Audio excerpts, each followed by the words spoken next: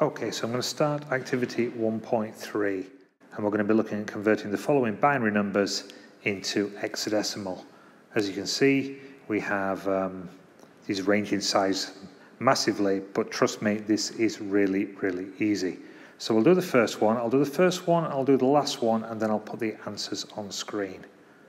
Okay, so move that out of the way, grab a pen. So we're going to write these first numbers down. Let's choose a colour. We've got one one zero zero zero zero one one. Okay, and we're converting binary into hexadecimal.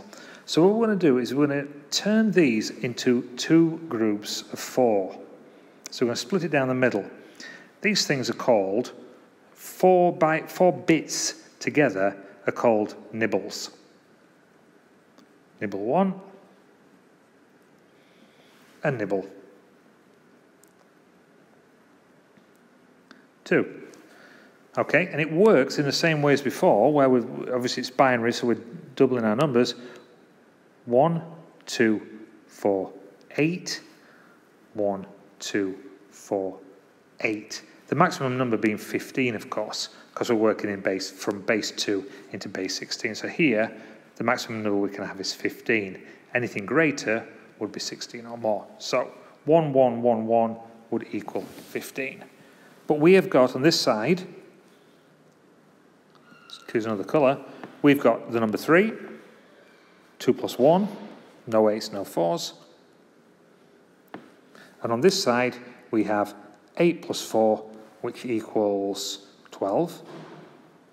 But 12 in hexadecimal, as we know, A equals 10, B equals 11, C would equal 12. Okay, going all the way up to F equaling 15. So the answer for this one would be C3. Okay? I'll go on and do the last one, J.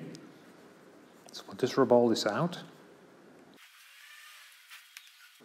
Okay. So, starting again, let's choose green. We've got 0, 0, it's a bit smaller, 1, 1, 0, 0, 1, 1, 1, 1, 0, 1, 0, 1, 1, 1, 0. Okay? I'm going to split these again into nibbles. Split there. Split there, every group of four. Split there. Split there. We've got 0 on the end. There. So, again, I can go 1, 2, 4, 8. 1, 2, 4, 8.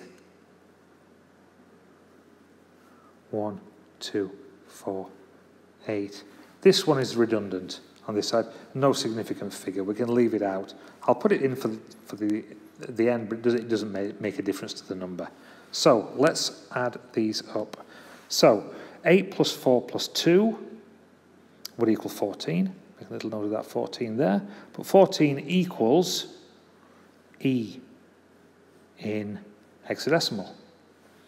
8 plus 2 is 10, so that must be A.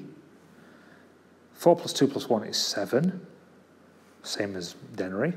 And 4 plus 2 is 6. And of course, we've got a 0 there. Should we use it? We don't need it. 6, 7, A, 3. Okay? Now, if I open up the answers for you,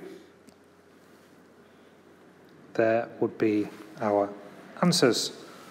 So we have C3, F7, 27F, 4EE, 1E1, 89E, 0, 4FE, 0E9C, FF7D, 67AE, as I've just shown you there. Okay, thank you very much indeed. I will see you for 1.4. Thank you.